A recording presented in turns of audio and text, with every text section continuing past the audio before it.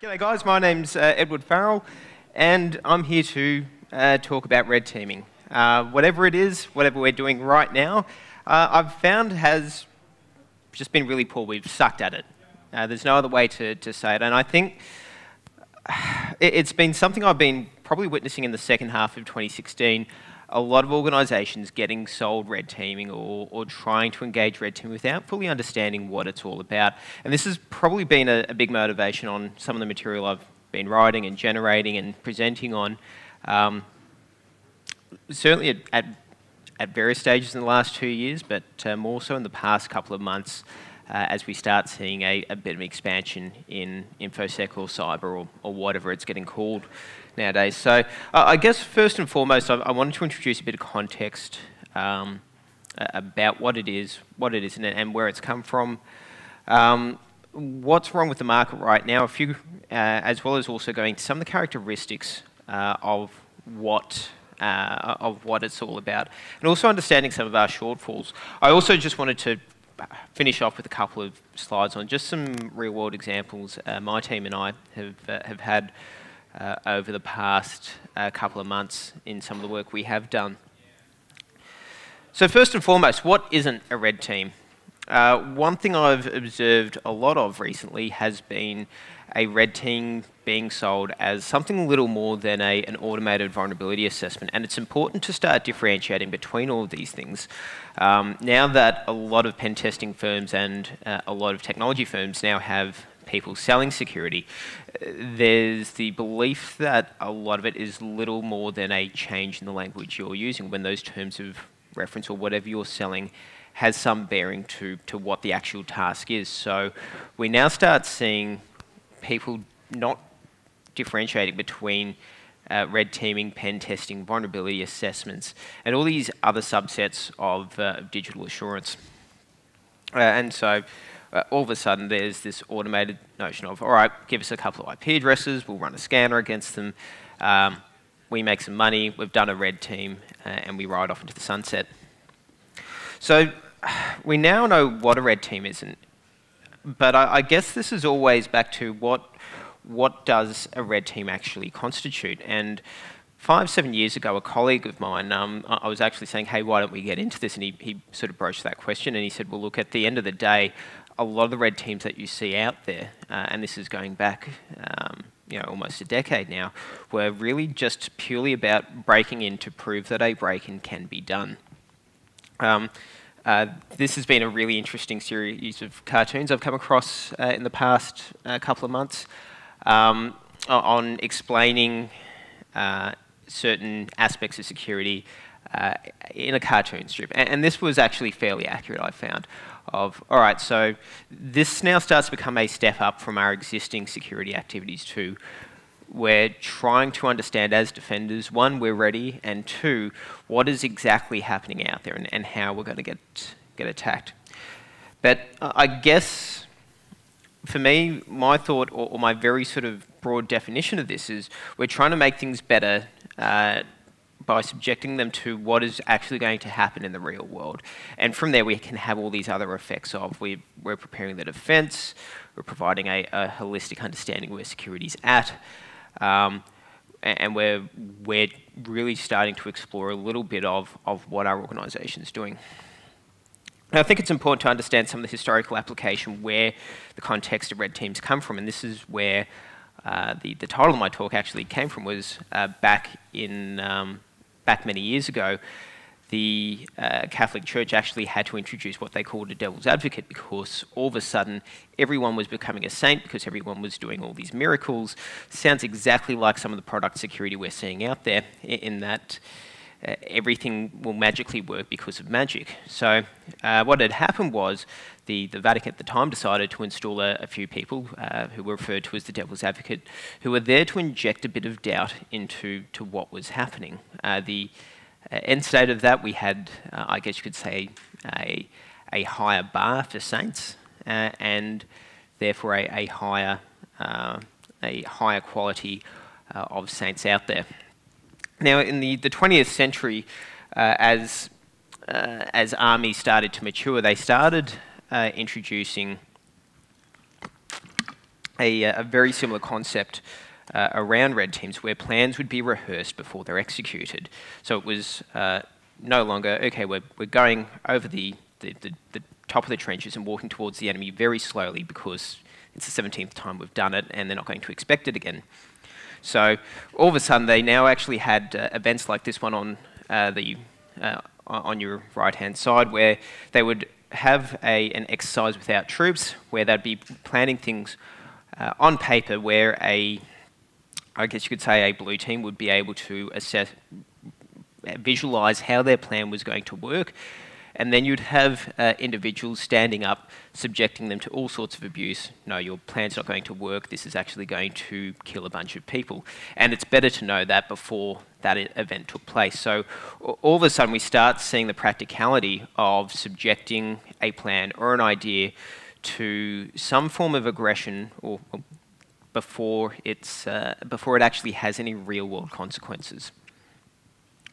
So I, I guess the important thing here is that security and cybersecurity isn't the only place where we've uh, seen this concept of a red team exists. Uh, and you'll see it in a lot of other spaces where uh, there is a need to subject something to, uh, to, to some form of review in order to validate that what is taking place is correct. Uh, we've now seen, probably in the last 20 years, the exact same practice take place uh, in, technology in, in what we've now had it as a, as a subset of assurance. Its intent is to, to provide some level of guarantee that something is working properly and is functioning. To, to what level that goes to and, and how that's done really starts dividing into all these little subset areas of assurance where uh, whether it's, say, a, a, web application test or a, a another form of uh, security assessment, it, it really starts to, to start getting a little bit grey. Um, for me, this really comes back to, to stepping back uh, and finding a way of, of how does this tie in with other security activities. So I guess there's no set way of, of, doing it without at least understanding context. And I, and I guess this is where we have to start not boxing into anything, but start looking at some of the characteristics of how a red team exists. So first and foremost to me, a red team has to have some sort of business focus.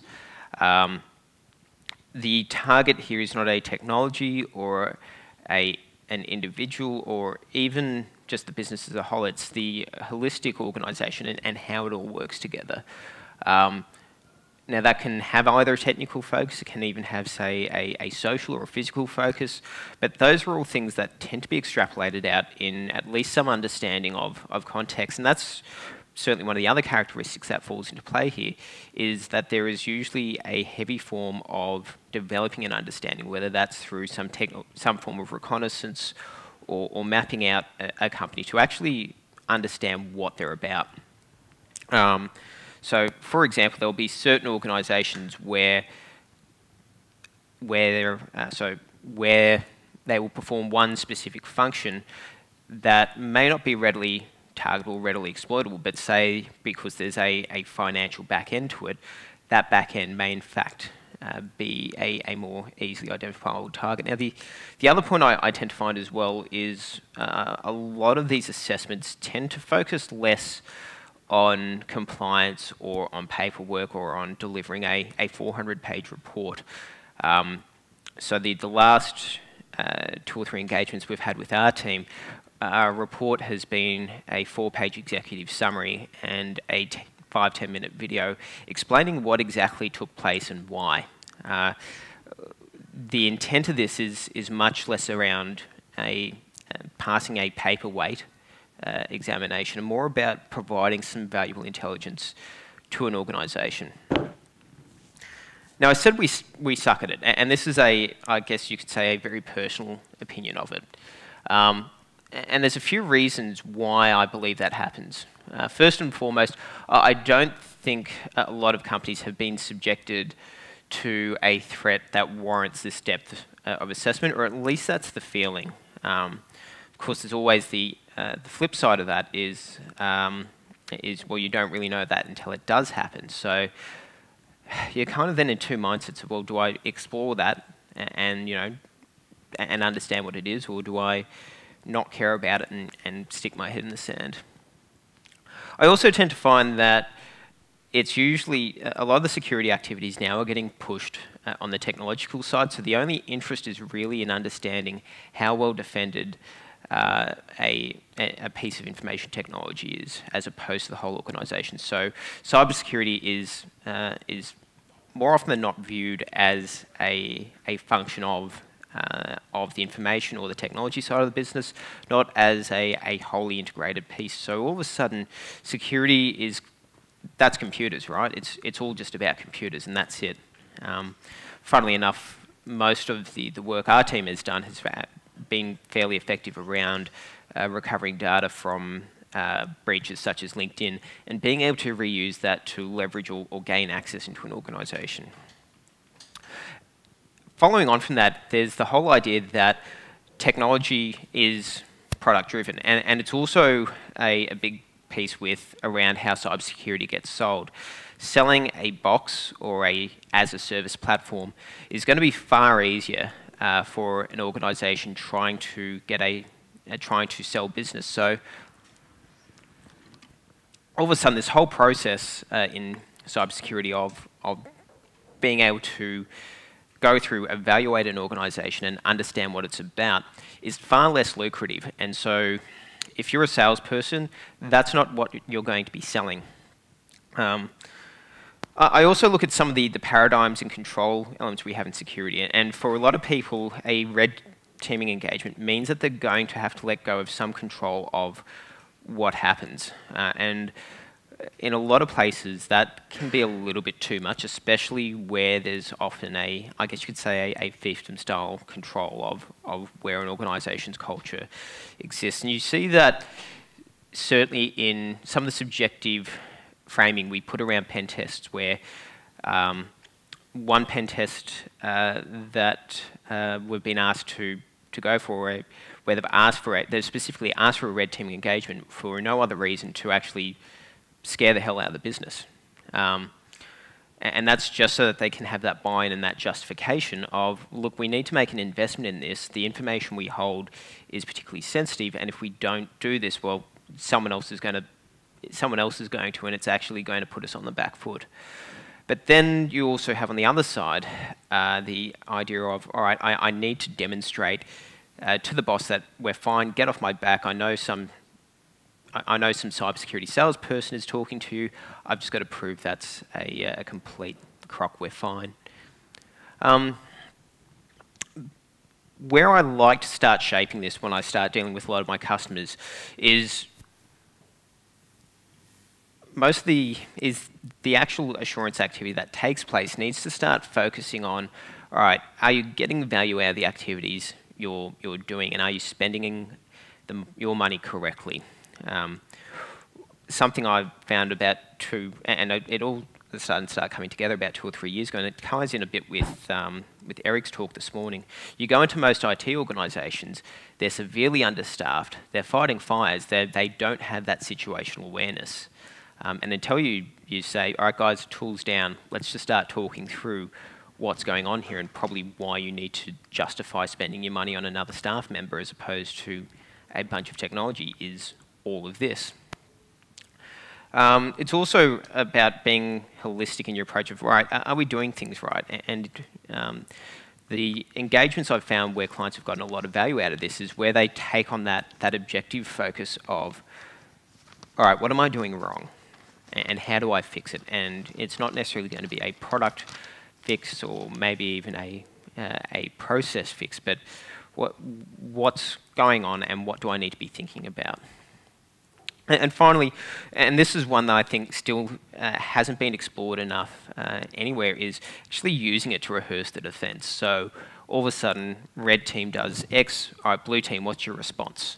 Um, having that constant toing and froing uh, as a rehearsal exercise uh, can prove quite valuable, especially when you start coming down to a, a lot of the pen testing activities uh, that I'm sure a lot of the, the pen testers in this room do, we'll often find that they'll be uh, inside an organisation within uh, you know, within a couple of hours, which is usually a lot faster than how the defence is going to be able to respond. But then I also find on my own side, um, as a red teamer, um, one of the things you tend to find is when you come from a technological background, you start getting tunnel vision on specific technologies or you start diving into specific problems that look like, hey, this is actually probably where there's going to be, be some trouble. If you go upstairs and look at the CTF, you're probably going to find a couple of guys who are spending four hours on the 100 on one of the 100 level challenges when they can pick up 800 points in eight or nine other challenges. And this is this is something I've personally had a, a lot of where, all right, let's just step back, let's have a look. I'm a bad guy, how am I going to make this someone's worst day? The other thing I find is, is a lot of people who, uh, who have not actually had them, uh, who have not practiced uh, working as an adversary or, or been on the, the offensive side much, or have just had their first exposure to it, tend to start getting a little bit crazy. Uh, I think that's probably the best way to put it. And so all of a sudden there's this desire that really only comes natural, this desire to start dominating other human beings because you're in a position to do so. And this is, this is something you'll see uh, quite um, well, not as frequently as you'd think, but it, it, happens. And so that actually needs to get stepped back. And this really comes down to your job isn't to overwhelm people and do harm. It's about making things a little bit better. So if you start getting a little bit too aggressive, you're actually doing more harm than good. So there comes this point where you actually need to temper it before someone's head explodes because they're getting overwhelmed.